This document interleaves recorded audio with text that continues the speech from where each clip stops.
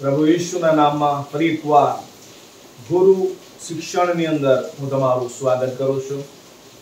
પાછલા બે એપિસોડની અંદર આપણે જે બાબતો શીખ્યા, પવિત્ર આત્મા કોણ છે અને પવિત્ર આત્માના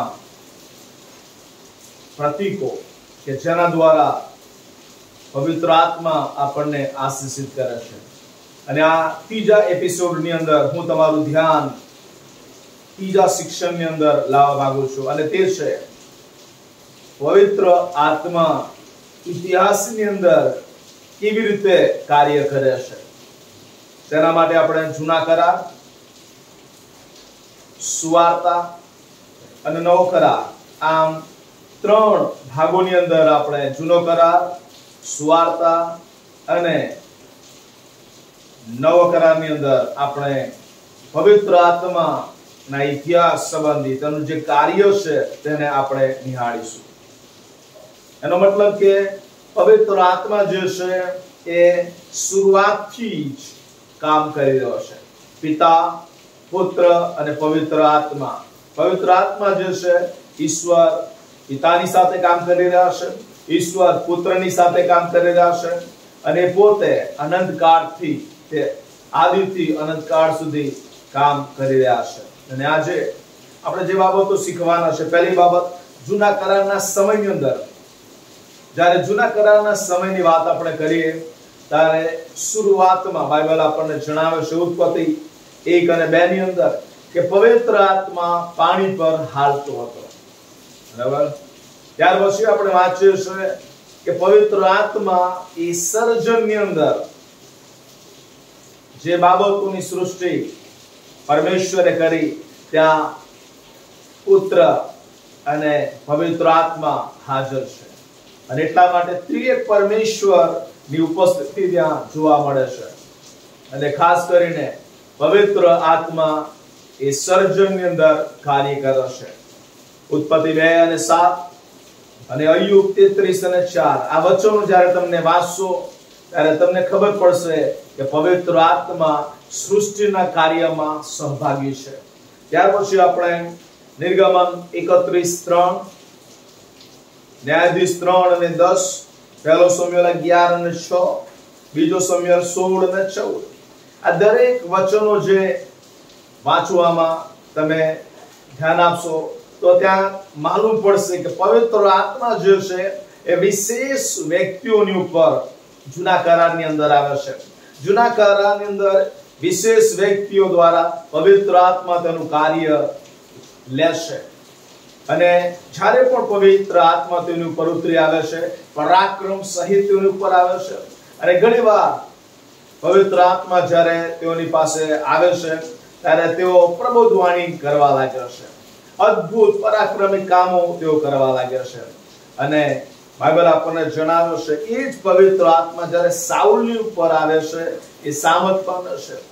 પરંતુ એ જ પવિત્ર આત્મા સાઉલ જ્યારે પાપ કરે છે આજ્ઞાધીન નથી થતો, ત્યારે તેના જીવનમાંથી એ પવિત્ર આત્મા ચાલ્યો જાય છે. એનો મતલબ કે જૂના કરારની અંદર વિશેષ વ્યક્તિઓ ઉપર વિશેષ કાર્ય કરાવવાના માટે પવિત્ર આત્મા ત્યાં આવે છે. હવે આપણે આવી જઈએ સુવાર્તાના સમયની અંદર.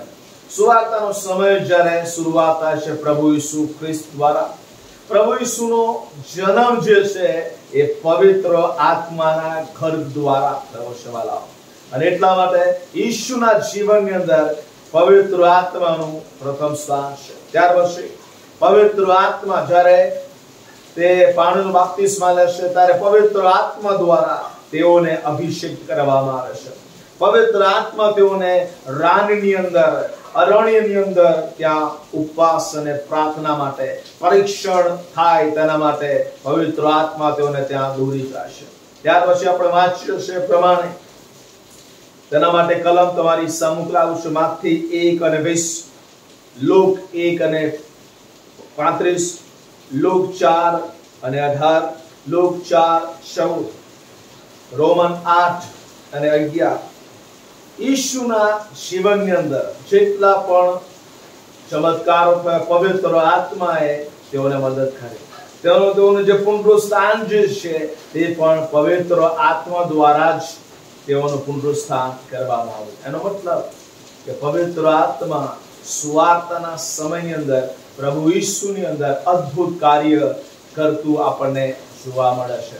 ત્યાર પછી આપણે શિષ્યો વિશે જો વિચાર કરીએ તો એ સમયે શિષ્યોને પવિત્ર આત્માનું શિક્ષણ આપવામાં આવે છે. યોહાન બાપ્તિસ્મા દ્વારા કહેવામાં આવે છે કે મારી પાછળ જે આવે છે એ તમને અગ્નિથી અને પવિત્ર આત્માથી બાપ્તિસ્મા આપશે.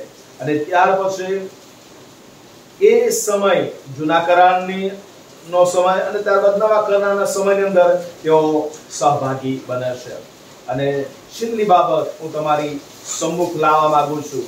અને તે તો એ છે કે આજે પણ નવા કરાર શરૂઆત છે પેરિતના કૃત્ય બીજા અધ્યાય એક થી તેર કલમની અંદર એકસો ને વીસ લોકો ઉપલી મેળીની અંદર જ્યારે તેઓ ઉપવાસ અને પ્રાર્થના દસ દિવસ સુધી નિરંતર તેઓ એકતા મળીને કરી રહ્યા હતા.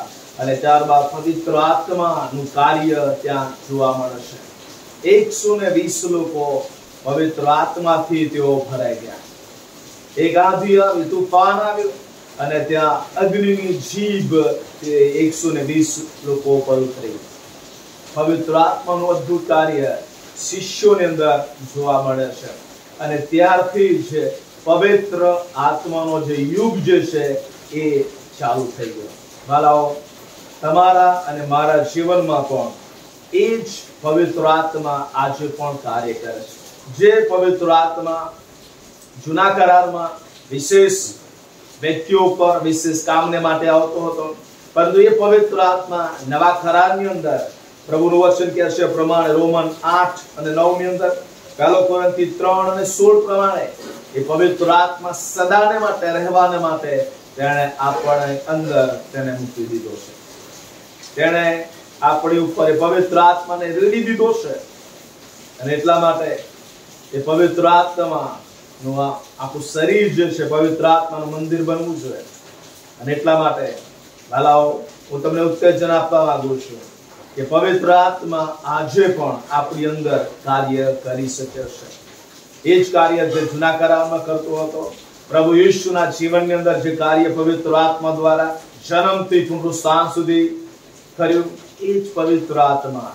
પચાસમાના દિવસથી પેન્ટિકોસલ ના દિવસથી અત્યાર સુધી અને આવનાર જ્યાં સુધી મંડળીને લઈ લેવામાં નહીં આવે, ત્યાં સુધી પવિત્ર આત્માનું કાર્ય આ સંસારની અંદર આપણે જોતા રહીશું અલાવ અને એટલા માટે આવો આપણા જીવનને પવિત્ર આત્માના એ કાર્યોને માટે આપણે તૈયાર કરીએ. અને આજે પણ પવિત્ર આત્મા દોરવણી આપણને આપ્યો અને આપણા જીવનને અંદર હંમેશા પવિત્ર આત્મા કાર્ય કરી રહ્યો છે. ત્યારે આપણે પ્રાર્થના કરીએ છે વચનને વાંચીએ છે મંડળીમાં આરાધના કરીએ છે અરે પવિત્ર આત્મા જે છે આપણને ઈશુના ચરણોમાં લઈ જશે ઈશુના શિક્ષણની અંદર ચાલવાને માટે આપણને મદદ કરે છે. અને આ ત્રીજા એપિસોડની અંદર પવિત્ર આત્માના કાર્યો જે ઇતિહાસમાં થઈ ગયા, તેને આપણે જોઈ ગયા. ગોડ બ્લેસ યુ પ્રભુ તમને આ શિક્ષણ દ્વારા આશીષ આપે. આમેન